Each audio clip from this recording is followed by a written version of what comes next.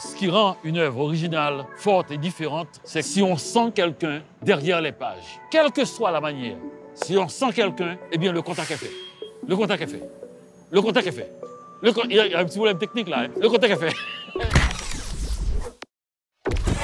Je suis Federico Fellini, je suis Rudy Allen, je suis Daniela Ferrière. Lequel des trois vous choisissez, ça vous regarde. J'ai parcouru l'exposition dans toutes les formes, dans tous les mouvements possibles. J'avais l'impression de parcourir ma vie.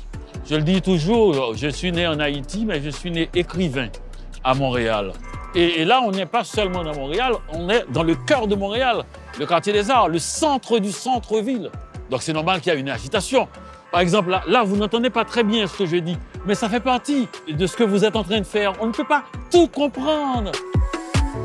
L'hommage, c'est plutôt à, Montréal et, aux passants que je ne connais pas, qui viendra ici en attendant que quelqu'un traverse l'exposition à sa manière, rapidement ou lentement. C'est ça l'hommage. Cette ville est le cœur battant de, de ma littérature et cette littérature, en se plaçant en exposition au centre-ville, au cœur même de Montréal, c'est comme un cœur dans un cœur.